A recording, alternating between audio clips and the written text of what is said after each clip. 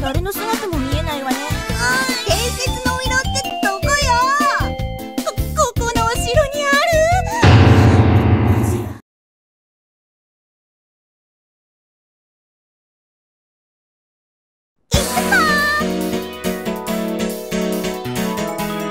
いったいなんで私がこんなことしなきゃいけないの？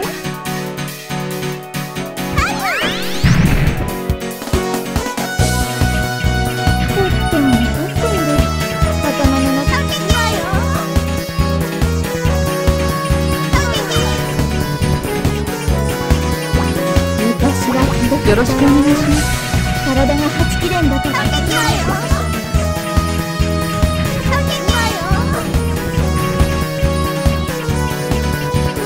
最近無理のしすぎでお肌が荒れてきたわ。ちょっとエステにでも行こうかしら。あいいです。ね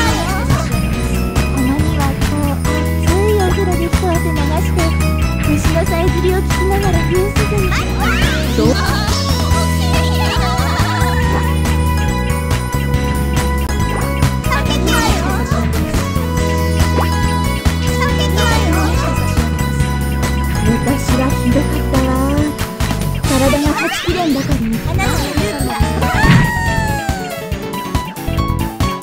力の限界のようですおいとまさせていただきます若さだけではどうにもならないのねやっぱり美味しいものを食べて栄養をつけないとね体が断ち切れんばかりにつのもみを食べさせられたり魔物の中に飛び込んで自爆